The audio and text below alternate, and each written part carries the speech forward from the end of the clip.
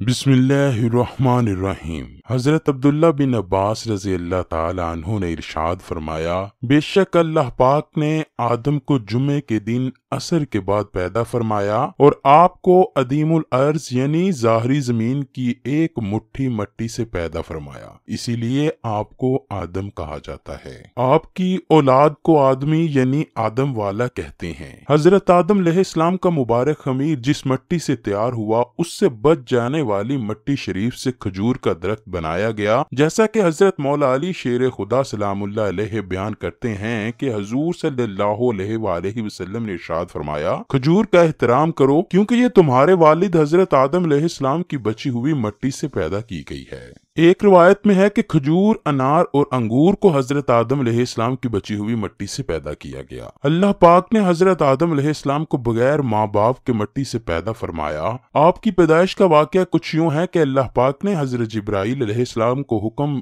فرمایا کہ زمین سے ایک مٹھی مٹی اٹھا کر لاؤ۔ حضرت جبرائیل نے زمین سے مٹی اٹھانا چاہی تو زمین نے اس کا سبب پوچھا۔ آپ نے سارا واقعہ بیان کیا، اس پر زمین کہنے لگی، میں خدا کی پناہ چاہتی ہوں۔ اس بات سے کہ مجھ سے کچھ کم کیا جائے یا میری کوئی چیز خراب کی جائے۔ حضرت جبرائیل علیہ السلام مٹی لیے بغیر واپس لوٹ آئے اور عرض کی، اے میرے رب، زمین نے تیری پناہ مانگی ہے تو میں تیرے نام پاک اور تیری عزت کا ادب کرتے ہوئے واپس آ گیا ہوں اور اسے پناہ دے دی ہے۔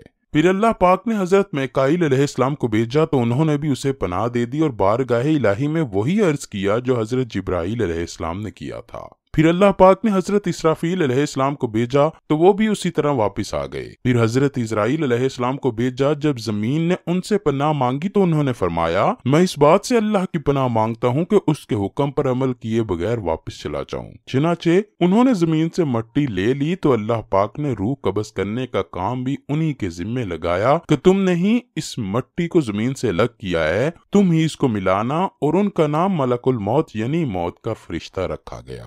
اللہ پاک نے جب حضرت آدم علیہ السلام سے حضرت بی بی ہوا کو پیدا کیا تو حضرت آدم علیہ السلام نے ان کی طرف دست محبت بڑھانے کا ارادہ کیا تو فرشتوں نے عرض کی، اے آدم ٹہر جائیے، پہلے ان کا مہر ادا کیجیے۔ آپ علیہ السلام نے فرمایا، ان کا مہر کیا ہے؟ فرشتوں نے عرض کی، ان کا مہر یہ ہے کہ آپ ہمارے سردار محمد مصطفیٰ پر تین یا دس مرتبہ درود پاک بھیجیں۔ چنانچہ آپ علیہ السلام نے درود پڑا اور فرشتوں کی گواہی سے آپ علیہ السلام کا حضرت بی بی ہوا سے نکاح ہو گیا۔ اس سے معلوم ہوا کہ رسول کریم ہر موجود چیز کے لیے وسیلہ ہیں۔ یہاں تک کہ اپنے والد حضرت آدم علیہ السلام کا بھی وسیلہ ہے حضرت آدم علیہ السلام نے نو سو ساٹھ برس کی زندگی پائی، جبکہ آدم علیہ السلام کی زندگی ایک ہزار برس کی تھی۔ کیونکہ جب حضرت آدم علیہ السلام جنت میں تھے تو اللہ نے حضرت آدم علیہ السلام کو ان کے تمام اولاد، جن جن کو نبوت ملنی تھی، ان کی شخصیت اور ان کی عمر آدم علیہ السلام کے سامنے واضح کر دی۔ آپ نے جب حضرت دعود علیہ السلام کی عمر کو ساٹھ سال دیکھا تو اللہ سے کہنے لگے، اے اللہ، میری عمر کے چالیس سال میرے پوتے دعود کو دے دے۔ تو یوں آپ کی دعا قبول ہوئی اور اللہ نے آدم علیہ السلام کو دو فرزند عطا فرمائے، حابیل اور کابیل۔ لیکن شیطان کے وسوسے، حسد اور نفرت نے جب کابیل کے ہاتھوں سے حبیل کو قتل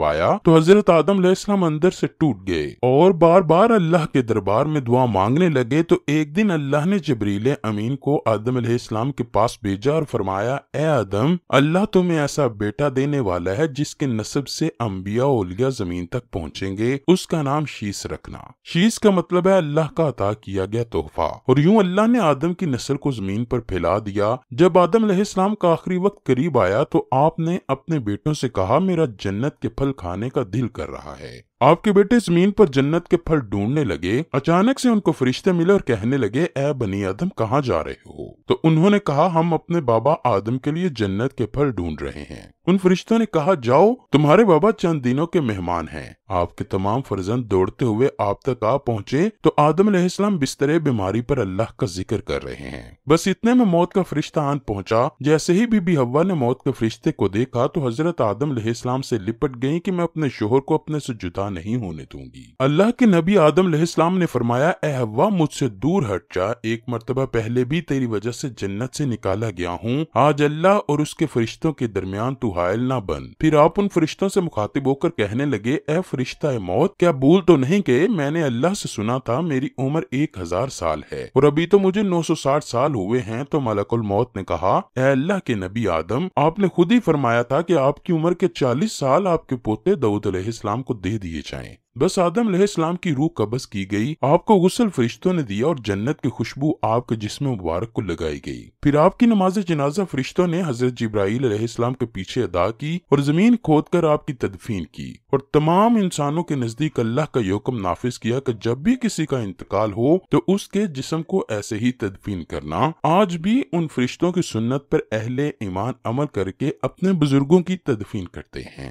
حضرت آدم کی کمر مبارک کی جگہ کو لے کر کچھ اختلافات ہیں۔ کچھ مرخین کے نزدیک آپ کی جائے تدفین سری لنکا تو کچھ کے نزدیک جبل ابی کبیس اور کچھ کے نزدیک عراق اور کچھ کے نزدیک مسجد خریف کے سہن یا اندر۔ اور بعض روایتوں میں یہ بھی ہے کہ جب آدم علیہ السلام کی روح قبض کرنے کے لیے فرشتہ موت آن پہنچا تو آپ کے بیٹے جس کو آپ نے اپنا جانشین بنایا تھا یعنی حضرت شیس علیہ السلام سے کہنے لگے، اے میرے جانشین، میں نے اللہ سے سنا تھا کہ ان قریب اس زمین پر ایک بہت بڑا طوفان آئے گا۔ اگر تم اس وقت تک موجود رہے تو میرے میرے جسم کو اس کشتی نو میں سوار کرنا جو نجات کا وسیلہ ہے۔ اور اگر تم اس وقت تک نہ پہنچو تو اپنی اولاد کو وسیعت کرنا کہ میرے جسم کو کشتی نو میں سوار کرے۔ تاریخ دان لکھتے ہیں کہ جب طوفان نو آیا تو حضرت نو علیہ السلام نے اپنی کشتی میں حضرت آدم اور بی بی ہوا کے جسم مبارک کو بھی سوار کیا اور بیت المقدس یا عراق میں اس جگہ تدوین کی جہاں انہوں نے اپنی قبر بنائی۔